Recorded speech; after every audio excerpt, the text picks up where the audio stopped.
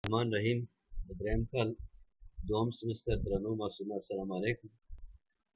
نن په پبلک هیلث کې زمونږ اساسي د درس موضوع ده د امینو اسید اړتیاوې د پروتین اخیستل باید د اړینو امینو اسیدونو اړتیاوې هم پوره 1915 اتیاوم کال کې د انرژي او پروتینونو د اړتیاو په اړه د ډبلیو ایچ او د ماهرې کمیټې په راپور کې په بېلابېلو عمرونو کې د امیناسیدو اړتیا په تخمیني ډول په ملي ګرام په هر کیلوګرام وزن د بدن په ورځ کې په دغه نهشتم جدول کې ښودل شوی دی چې زه به تاسو ته دالته درو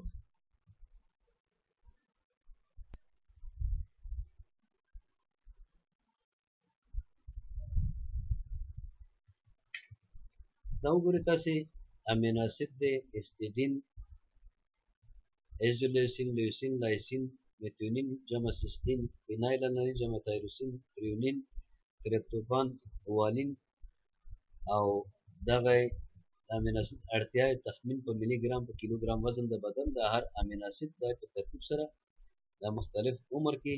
دا د امینو اسید اړتیاوې دي چې باید په دغه اندازې سره د ورځې په دومره ملي ګرام سره وخت شعر دا جدول تاسو کورنۍ وظیفه ده ځای کې هغه د الف به لیکل شوی هغه یو د جاپان د مطالعې په اساس دی او به د یو سی یا د امریکې د مطالعې په اساس نوی انساج تاسو پیږي تر هغه چې ټول اړین امینو اسیدونه په پړو کې شتون نه لري تشکل نشي کولای دغه نهشتم جدول کې د اړینو امینوسونو اړتیاوې په چټکۍ د عمر د زیاتوالي سره کمیږي د خوړو کیفیت ښه والی د کوچنیانو لپاره نسبت لویانو ته زیات اړین دی بل شهم دی شهم د ورځنۍ اړتیا په یقیني ډول معلومه نه ده د شیدو رودلو یعنی انفنسی په مرحله کې شان د مجموعي انرژي اخیستلو څخه څه د پاسه 50 فیصده جوړوي دغه اندازه په بلوغیت کې 100 فیصد ته راښکته کیږي آی ایم سي آر ماهر ماهر ګروپ په 1909 کال کې د شام څخه د مجموعي انرژي اخیستلو اندازه 100 فیصد توسعه کړې یعنی کوم انرژي چې هغه به 100 فیصد په کې شامل زیات نه چې له دې جملې څخه بیا لږ تر لږه پنځوس سلنه باید نباتي تیل وي یعنې مشبوع اړین شحمي اسیدونه ولري چې د اړینو شحمي اسیدونو درلودونکي وي په ځوانو کوچنیانو کې د اړین شحمي اسیدونو د انرژي د اخیستلو اړتیا په دغه درې نه تر پنځه اعشاریه اووه فیصده پورې فرق کېږي دې جدول کې د خپله د دغه اخیستل ښودل شوي دي د شحمیاتو تاسو وګورئ لویان نارینه ښځې یعنې په خپله ګرام په ورځ کې باید شل ګرام واخلي انرژي باید نه سل نه نه جوړه کړي او د اړینو شامي اسیدونو انرژي باید درې سل نه وي امیدوارې ښځې په دې ترتیب سره شیدې ورکوونکې میندې په دې ترتیب سره الډر کوچنیان په دې ترتیب سره ځوان کوچنیان په دې ډول سره او په تخمیني ډول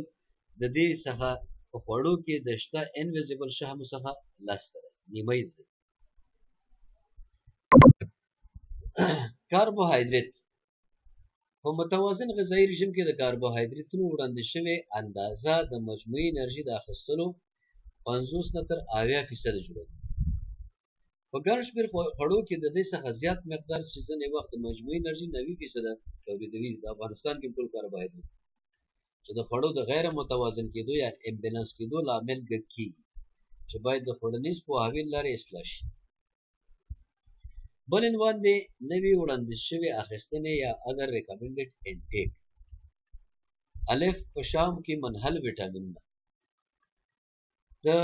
ویټامین A او D ورځنی اړتیا په یو درشم جدول کې ښودل شوې ده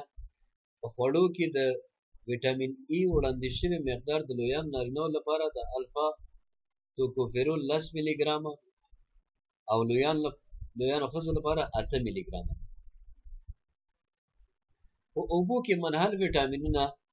وړاندې شوی اندازه هم په یو دېرشم جدول کې ښودل شوې دی د تیامین رایبوفلاوین او نیاسین اړتیا د انرژي اخیستلو او مصرفولو سره ډېرې نږدې اړیکې لري چې د زر کیلو کالوري انرژي د اخیستنې له مخې په په دې ډول سره دغه شوی تیامین که چېرته زر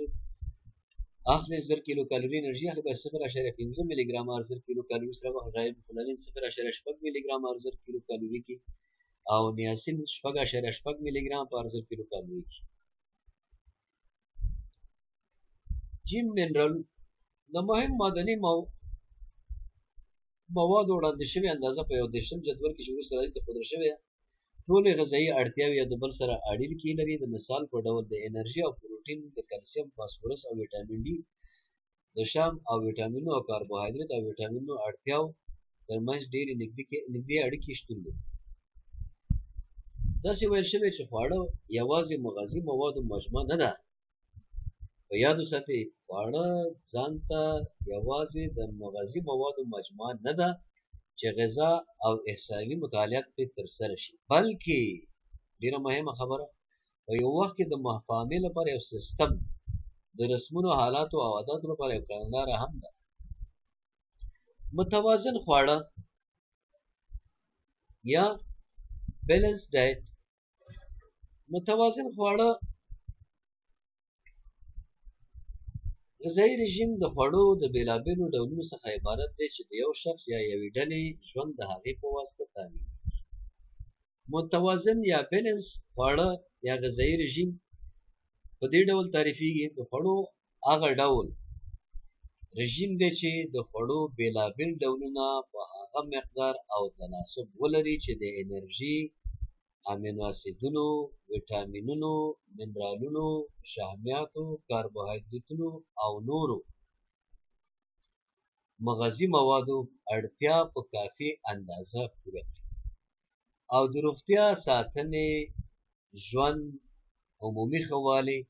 او همدارنګه یو کوچنی زیرمه د لنډې مودې لپاره د ضعیفوالي څخه د مخنیوي لپاره ولري متوازن خواړه د غذایي موادو د کموالي څخه د خلکو د ساتلو لپاره یو منل شوی وسیله ده متوازن غذایي رژیم تر څنګ باید دغه اساسات په پام کې ولرو الف تر ټولو د مخه باید په خورا ښه ډول د پروتین ورځنۍ اړتیا پوره شي چې اندازه د ورځنۍ انرژي 15 نه شل فیصده پورې ب د انرژي د اخیستلو په منظور باید د شامو اړتیا د شل دېرش فیصده پورې محدوده شي جیم کاربوهایدریت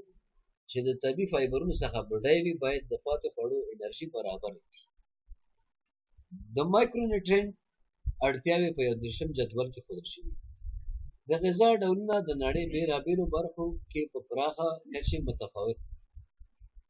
په عمومي ډول څرګنده شوې چې د خوړو تولید یا واردول د سیمې د اقلیم حالت اقتصادي ظرفیت مذهب رواج تمریناتو ذایقې او د خلکو ترمنځ په عاداتو پورې اړه هغه متوازن غذایی رژیم چې د یو هندي طبي طبي څېړنو د ټولنې په واسطه برابر شوی د فصل په وروستۍ برخه کې په دومه زایمه یا انویکس ټو کې ترې یادونه شوې ده زمایم دې تاسو ته وګورئ غذایی موخې یا ډیټری ګولز دا بل عنوان دی ټول هیوادونه باید د غذایی اهدافو د لاسته راوړلو په منظور د ملي تغذیې او خوړو تګلارې ته انکشاف ورکړي غذایی اهداف احتیاطي غذایی رژیم چې د ډبلیوچو د بېلابېلو ماهرو کمیټو په واسطه وړاندې شوی په دې ډول دی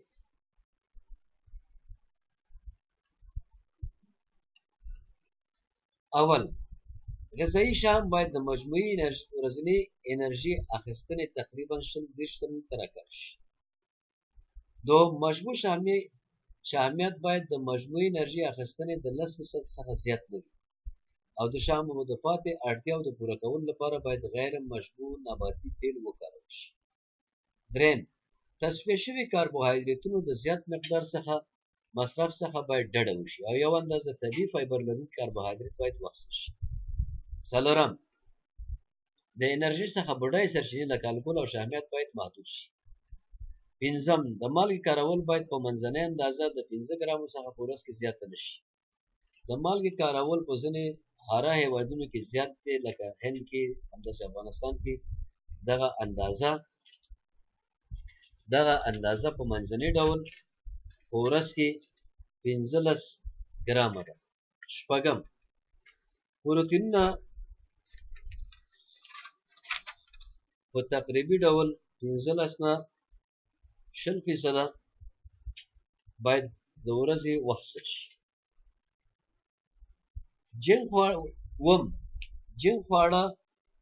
لکه کولا د رومیان شیره او نور چې کالوري لري باید محدود شي په دې برخه کې شاید داسې حالات هم وي د کومو لاندې چې د پروتینونو وړاندې شویو خوړو اخیستل عملی او تطبیق وړ نه دي د مثال په ډول خواړه باید د ودې امیدوارۍ شیدې ورکولو فزیکي فعالیت او روغتیایي ګډوډیو د ځانګړې اړتیاو سره د عملي کېدو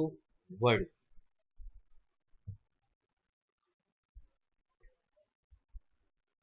په عامه روغتیا کې تغذیوي ستونزې یا نیوټریشنل پرابلم ان پبلک هیلت ډېرې غذایي ستونزې شتون لري چې زمونږ د وګړو زیاته برخه اغېزمنه کوي چې د لویو ستونزو څخه یې په لاندې په دې ډول سره یادونه کړې اول کم وزنه زیږیدنه یا لو برډ ویټ یا ال بی ډبلیو ال بی ډبلیو یا لو برډ ویټ کله د 2500 ګرام څخه کم وزن لرونکي زیږیدنه او مخ پر ودې هیوادونو کې د عامې روغتیا له نظره یو لویه ستونزه ده په هندوستان کې هم په اټکلي ډول ډېر سلنه کوچنیان ایل بي ډبلیو زیږېږي یعنې کم وزنه زیږېږي چې دا اندازه په پرمختللو هېوادونو کې په اټکلي ډول څلور سلنه ده په کومو هېوادونو کې چې ایل بي ډبلیو تناسب لوړ دی ګڼ شمېر یې جنیني ودې د وروسته والي په ستونزه اخته دي په هغه هېوادونو کې چې د کوچني کم وزنه زیږېدنه تناسب ښکته دی ګڼ شمېر یې مخکې له مودې پیدا کېږي که څه هم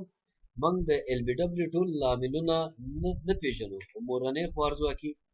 او وینه لګې د دې په منځته راتګ کې ښکاره مرسته کوونکي فکتورونه دي د لو برټ ویټ نور لاملونه عبارت دي له د ودې د امیدوارۍ په موده کې سخت فزیکي کار